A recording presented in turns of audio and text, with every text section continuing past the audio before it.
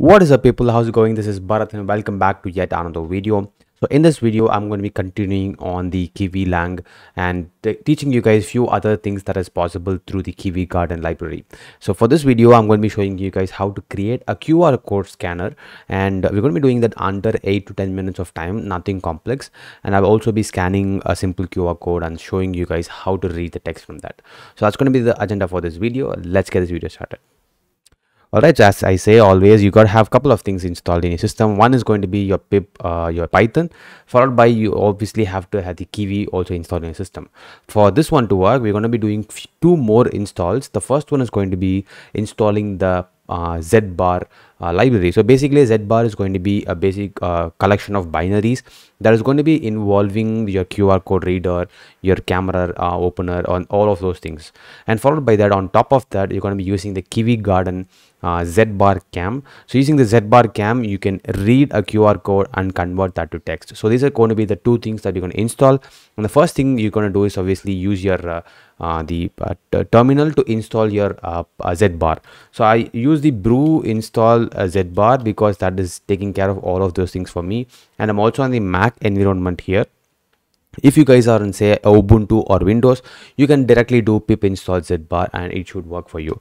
So let's continue finish this installation. It's going to take some time. And i think i already have the uh, installation completed. So this is going to work fine for me. So if it's if it's it's a new installation for you it's going to definitely take a lot of time. So pause here uh, finish the installation and come back.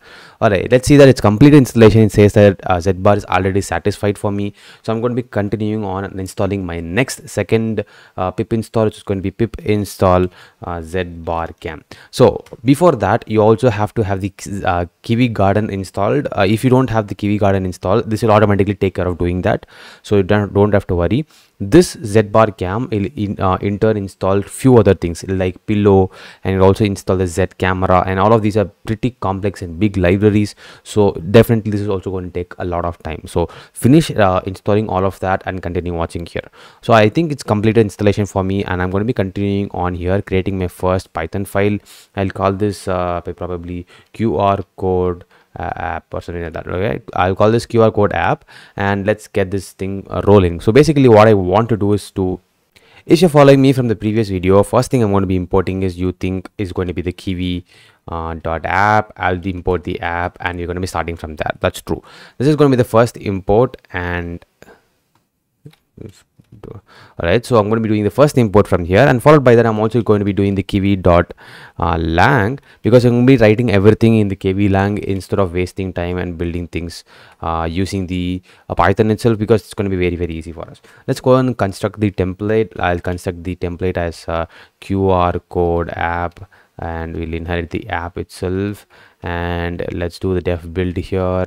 Let me just pass it for now and we'll do a main and we're going to just say qr code app dot run. All right let's format the file so that it doesn't look super ugly. All right so you have the def build here and i'm going to be using the uh, directly going to go use the builder. I'll just say builder dot i'll say builder dot load string and i'm going to be calling my string here. So let's write the string and the string is going to be first of all importing our basic uh, we're going to be importing the zbar cam right? So we're going to be using this uh, the kv notation of import z bar cam from kivy garden dot uh, z bar cam and it's going to be z uh, bar yeah all right so this is going to be import i'm going to be using and you guys have to do the same as well.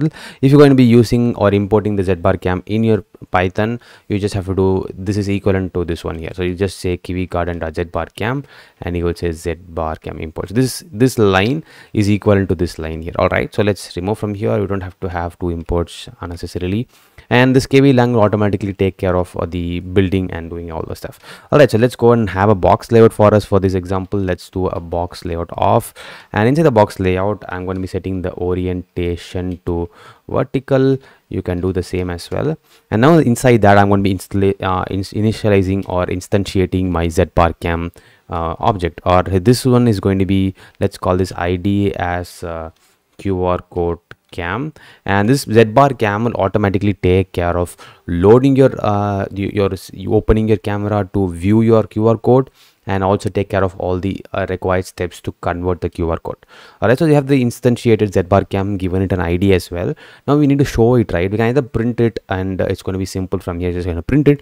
But for this example let's put a label here and we'll just print this uh, whatever data we're getting into this label. So what you're going to do for that is going to set the size hint first. Let's set the size hint as none comma none so that doesn't take so much time uh, so much of your space. Next is going to be self texture of uh, what i'm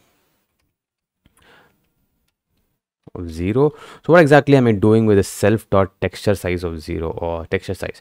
So if you when you are inst in, in, uh, instantiating your um,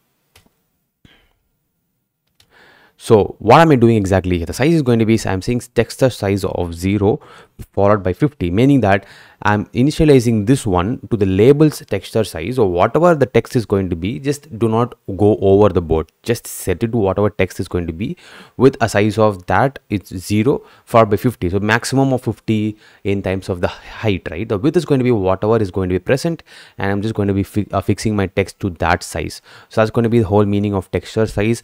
This one is equivalent to saying label, instantiating a label and using the label dot texture size. So if you print that, you'll know for sure that the label texture size is going to be whatever text it's going to take. So that's going to be the whole uh, need for setting it here. Now we obviously need to set the text here right? So i'm, I'm going to say text is going to be probably uh, i'm just saying um, I'll do short annotation here, do the join off because this QR code is now going to give us something called as symbols. So the QR code has a, a, a tuple called as a symbol and the tuple has a the QR code cam here, which is going to be the uh, ID that you have set for the ZBar cam, is going to have a tuple that is going to have a variable called as uh, symbols. The symbol is going to have a lot of data that is going to be present, which you're going to convert and put it right here. So what I'm exactly been doing here, I'm just going to say uh, for the symbol in uh, the our QR code uh, cam dot symbol. So i'm just iterating through everything here.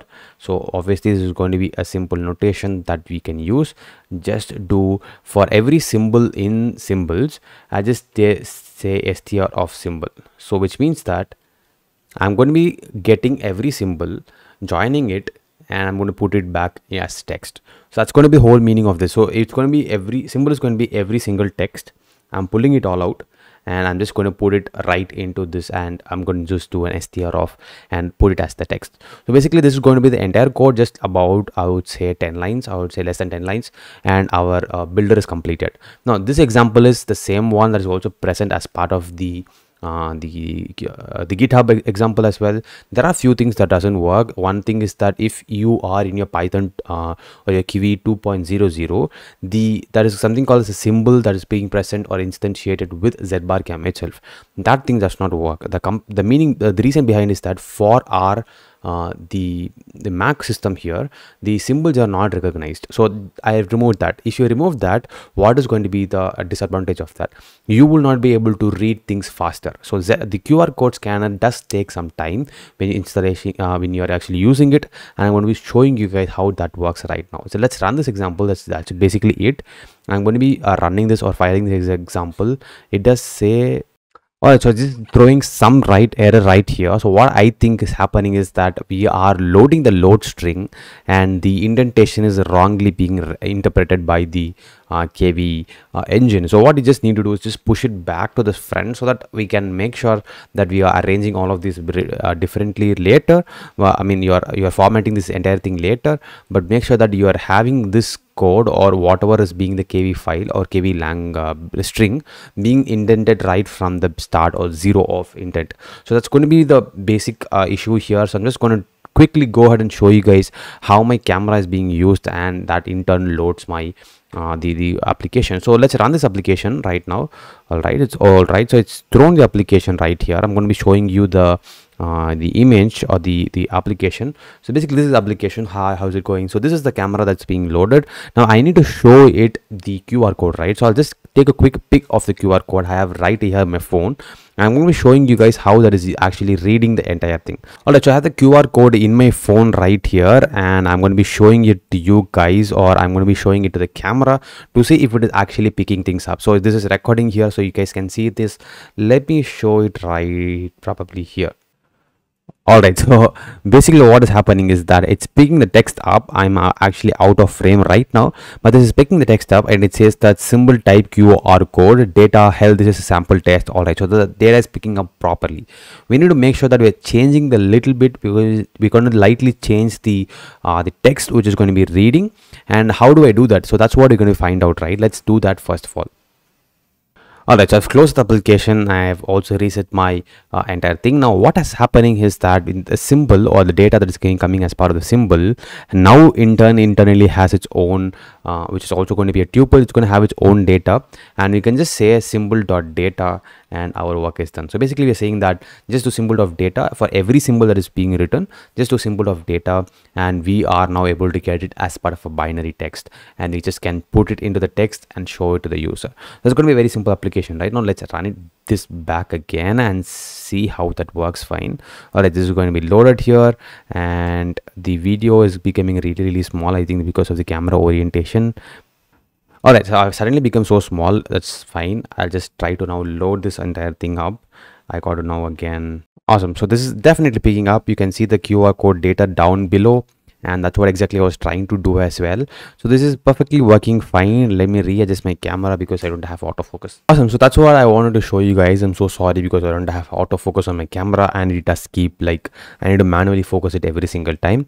So hopefully this one was informative as to how you can read from a camera. So I'm actually connected to the main camera. That's why my uh, application also picking up that camera. In case you are on your phone it's automatically going to pick up whatever going to be the main camera which is going to be a back camera right? And that's going to be very very useful for you to read or scan your qr code. All right so time to wrap this entire thing up. We just today looked into how to use the zbar cam use a QR code scanner and uh, load the data and see how the uh, camera can read any QR code.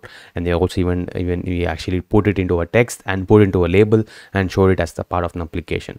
So that's what that was the entire uh, use case or the agenda that we had for this video. So hope this video is informative for you guys. If you did find it informative go check out the github link which is going to be the kivy garden zbar cam. And also drop a like for this video and share it with your friends if you're interested. So let me meet in the next video i've got few other things coming up. Uh, until then uh, it's bharat peace out have super awesome